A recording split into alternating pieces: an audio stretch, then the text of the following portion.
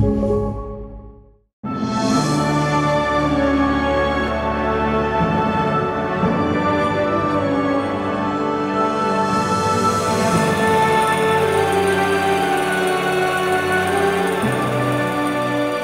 our classification system consists of five classifications. A1, which is general patronage. That means this is a movie for everyone.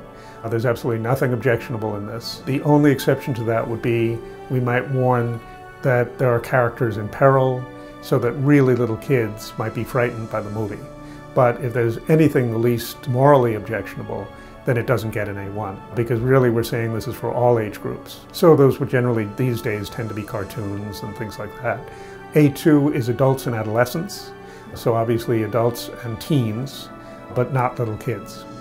A3 is adults, and that means grown-ups only, although occasionally there'll be a film that's sort of in a gray area between A2 and A3, and what we do in that case is we give the A3 classification, but we note in the text of the review that this might be acceptable for some mature teens. So we're not endorsing it for them, but we're saying some parents may feel that there's really nothing here that they're uncomfortable with their 17 year old seeing. The next classification is L, which originally was A4, and L stands for Limited Adult Audience.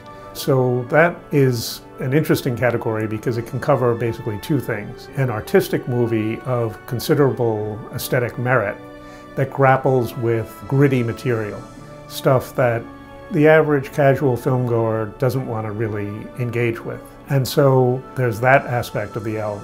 The other aspect of the L would be a bad movie that simply isn't so bad that we tell everybody not to see the film. So we're saying this isn't quite bad enough for us to really classify it as an O, which is our morally objectionable, but be warned that it skirts with that. And then the final rating classification is O for morally objectionable.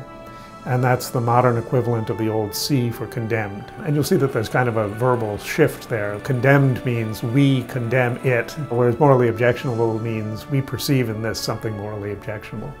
And so that essentially is our telling readers, do not see this film. This is not acceptable from a Catholic perspective.